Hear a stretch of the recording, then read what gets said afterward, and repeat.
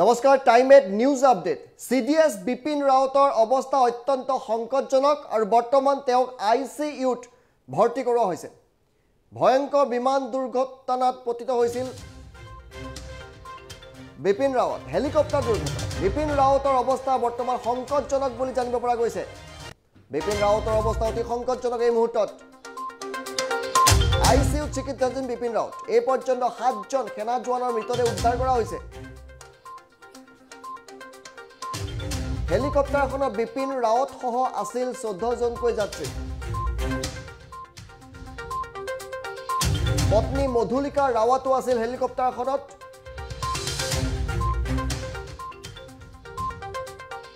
ভাৰতীয় বায়ু সেনাই এই ঘটনাৰ বাবে ইতিমধ্যে তদন্ত জাৰি কৰিছে।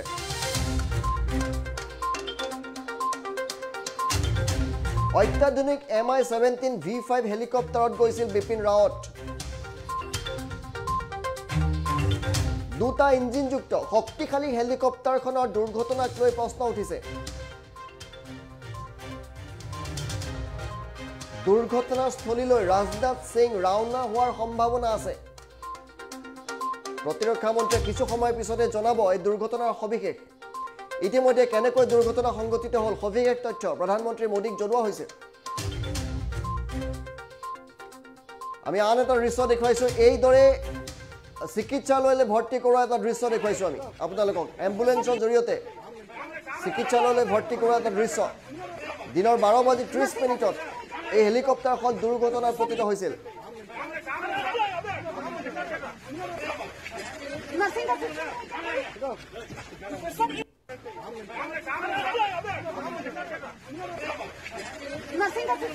আই চি ইউত ভৰ্তি কৰাব লগা হৈছে। ৰাৱতক আৰু অৱস্থা অত্যন্ত সংকটজনক বুলি কৈছে।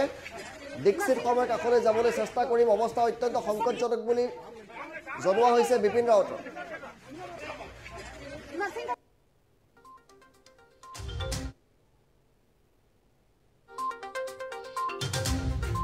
আমাৰ হাতত এসময় ফটোগ্ৰাফছ আহি পৰিছে সেই ফটোগ্ৰাফ দেখুৱাইছোঁ। কিমান ভয়ংকৰ আছিল এই হেলিকপ্টাৰ দুৰ্ঘটনা। কিমান হেলিকপ্টাৰ দুৰ্ঘটনা কিমান ভয়ংকৰ আছিল এই ফটোকেইখনে আপোনালোকক বুজাই দিব। ইতিমধ্যে সাতজনকৈ সেনা বিষয়াৰ মৃতদেহ উদ্ধাৰ হৈছে। আৰু আহতসকলক চিকিৎসালয়ত ভৰ্তি কৰা হৈছে। বিপিন ৰাৱতক আই চি ইউত ভৰ্তি কৰিব লগা হৈছে আৰু এই মুহূৰ্তত যিটো তথ্য আহিছে তেওঁৰ আঘাত যথেষ্ট গুৰুতৰ। অতি সংকটজনক অৱস্থাত আই চি ইউত ভৰ্তি কৰোৱা হৈছে। বিপিন ৰাৱতক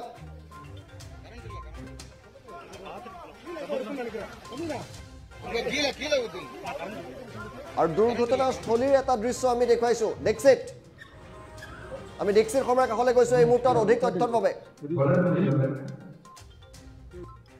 আধাতে এৰি থৈ ৰাজনাথ সিং এতিয়া সংসদ ভৱনৰ অভিমুখে তেওঁ আৰম্ভ কৰিছে তেওঁ সংসদলৈ গৈছে।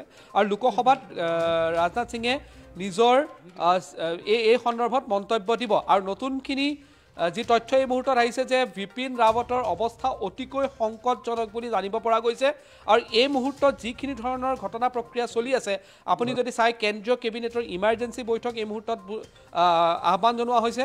কেবিনেটত প্ৰথমে ৰাজনাথ সিঙে নিজৰ এই সন্দৰ্ভ ঘট- ঘটনাৰ সন্দৰ্ভত তথ্যখিনি দিয়ে। এই কেবিনেট বৈঠকৰ পাছতে এতিয়া ৰাজনাথ সিং সংসদৰ অভিমুখে যাত্ৰা আৰম্ভ কৰিছে।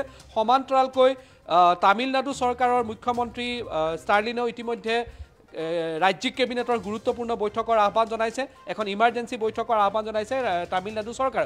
এই মুহূৰ্তত এই মুহূৰ্তত যদি আপুনি চায় তেতিয়াহ'লে সম্পূৰ্ণ ঘটনা প্ৰক্ৰিয়া এক বেলেগ এটা দিশৰ সেই ইংগিত দি থকাৰ যেন অনুমান হৈছে কাৰণ এই মুহূৰ্তলৈকে সাতজন মানুহৰ সাতজন ব্যক্তিৰ মৃত্যু সাতজন ব্যক্তিৰ মৃত্যু।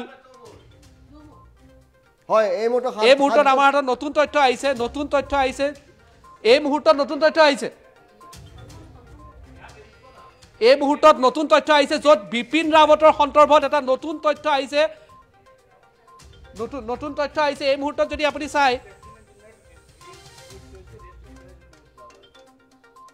জেনেৰেল যি যে আছে এইচ এছ তেওঁৰ ফালৰ পৰা টুইট আহিছে। আমি টুইটটো দেখুৱাব বিচাৰিছোঁ য'ত ৰিপি বিপিন ৰাৱতৰ ক্ষেত্ৰত তেওঁ আৰ আই পি বুলি লিখিছে। এই মুহূৰ্তত এটা নতুন তথ্য আমি আপোনালোকক দিছোঁ য'ত তেওঁ আৰ আই পি বুলি লিখিছে এজন সেনাৰ লেফটেনেণ্ট য-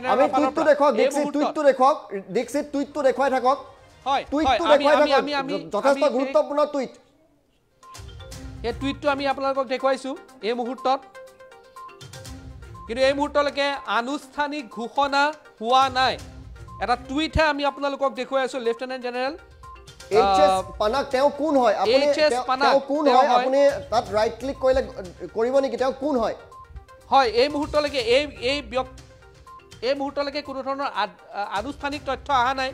আমি আনুষ্ঠানিক তথ্যৰ বাবে অপেক্ষা কৰিব লাগিব ঋতুস্মিন। এই মুহূৰ্তত আনুষ্ঠানিক তথ্য এই মুহূৰ্তলৈকে অহা নাই ঋতুস্মিন। কিন্তু এই মুহূৰ্তত যদি আপুনি চায় এই তথ্যকেইটা এই তথ্যকেইটা এই মুহূৰ্তত কেইবাটাও তথ্য আহিছে জেনেৰেল বিপিন ৰাৱতৰ অৱস্থা সংকটজনক বুলি জানিব পৰা গৈছে। সংকটজনক বুলি জানিব পৰা গৈছে এই মুহূৰ্তত। আৰু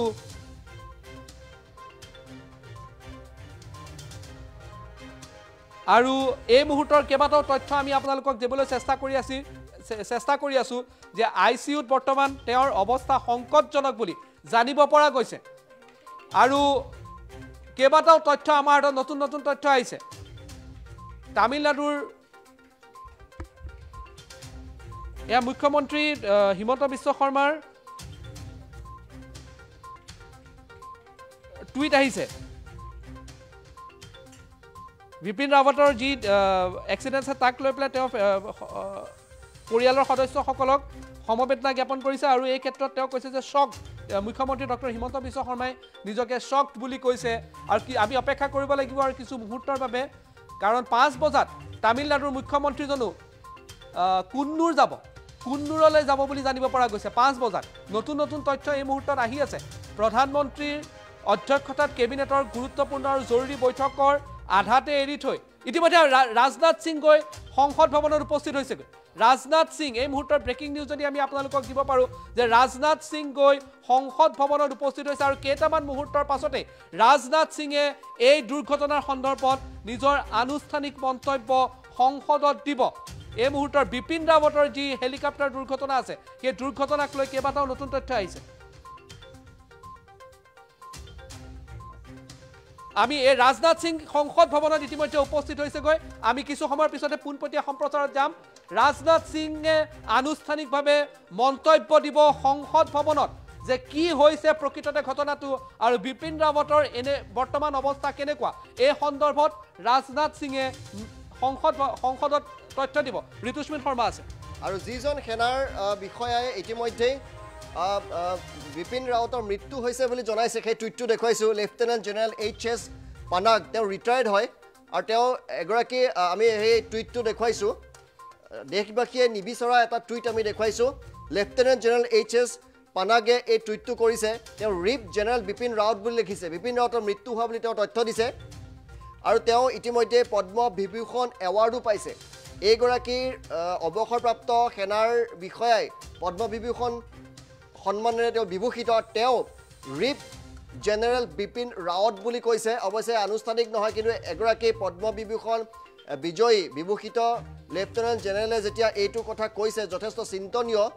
ৰিপ জেনেৰেল বিপিন ৰাৱত বুলি দিছে। আমি কিছু সময় পিছতেই ৰাজনাথ সিঙে কি কয় আমি পোনপটীয়া সম্প্ৰচাৰ কৰিম।